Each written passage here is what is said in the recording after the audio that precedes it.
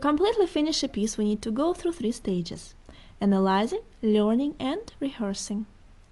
And the last rehearsing stage is the most important one, because no matter how correctly we imagine and play the piece on the first stage of analysis, how patiently we repeated the piece on the second learning stage, we still need time and experience to let all the new sensations become solid and strong enough to let us be confident and free in the performance.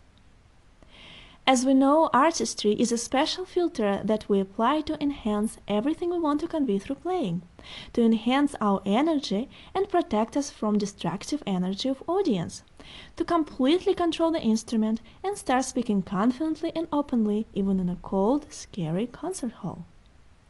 And artistry, just like any other sensations, have to be built up. Any new sensations are always very gentle and fragile, and we need to gradually let them become stronger.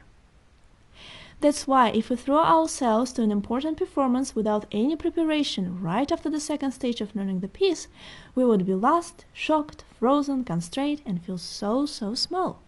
No matter how well the piece was learned, we will lose control about everything that we practiced before. On contrary, if we gradually build up the stamina of sensations and artistry energy becomes solid enough, then very blurry and unsure feeling would be transformed to confident, strong, and effortless playing. There are a couple of reasons why we used to consider rehearsing stage less important than practicing stage. Firstly, because of the frustrating and painful memories from past failures at the recitals, we would be still afraid to perform and that would make us want to perform as little as possible. And because nobody really taught us how to do it, we didn't have much desire to figure it out on our own. Now it's time we change our own beliefs about performing on the stage and become our own managers. There are three levels on the stage, from easiest to the most challenging one, and it takes at least one month to pass these levels. You should move to the next level only after you feel released and excited about your performance, because you could sustain artistry and control your playing. Do not move to more advanced level if you have not conquered the previous one. Play a few times on every step of every level. First times you would notice that your artistry shield is not strong enough. You don't have an endurance, you're losing yourself, and frozen energy is still controlling you. But take it easy and continue playing over and over again, and eventually you will notice that your stamina is solid enough to remain artistry and speak confidently and effortlessly. And that's the moment where you know you have conquered your audience. To keep it interesting, I suggest you to find the final goal, a deadline that could be in competition, an audience, or an important performance, and then build up all the levels of the rehearsing stage towards that performance. I personally consider competitions as a top challenging thing because the pressure from the energy of audience and jury is extremely high. They are not listening to you with an open heart, judging you instead, and the pressure of those negative thoughts, intentions, and energy is so strong that you need to have an iron stamina of artistry to conquer it. And that's why you're going to have a rehearsing of the program to gradually build up an endurance in your energy muscles. This is what you need to prepare before starting your rehearsing stage. The deadline of your goal performance, the list of the audience starting from friendly people ending with those who scare you the most. It could be family members, friends, colleagues, students, teachers. The list of venues starting from small and ending with big ones. It could be your home, your friend's home, a classroom at school you're studying or teaching at, local libraries or churches, Steinway or Yamaha recital rooms, street pianos, pianos at the airports, and even at big malls.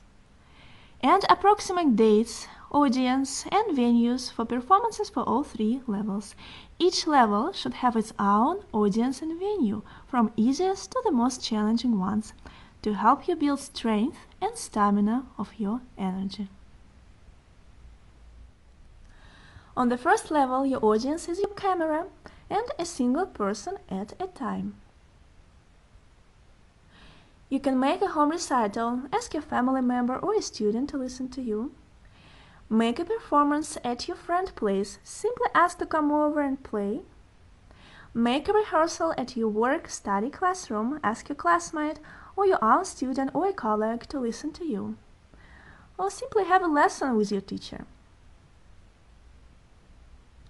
On the second level, your audience is up to 5 people, then 10, then 20 people.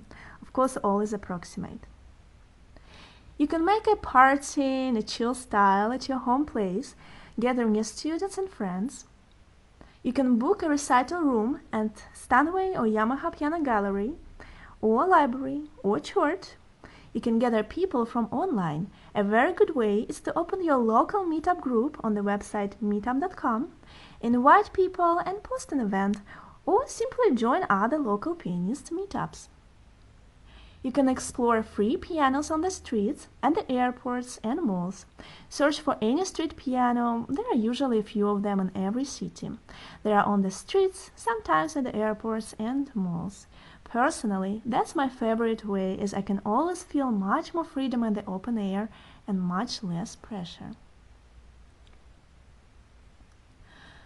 On the last level, your audience is more than 20 people there are very little chances you could organize a full solo recital for you on the stage, but even getting opportunity to perform with one single piece from your program is very valuable. You can participate at any musical events.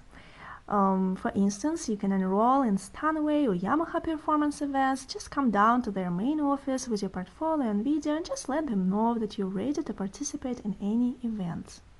You can enroll into festivals and master classes.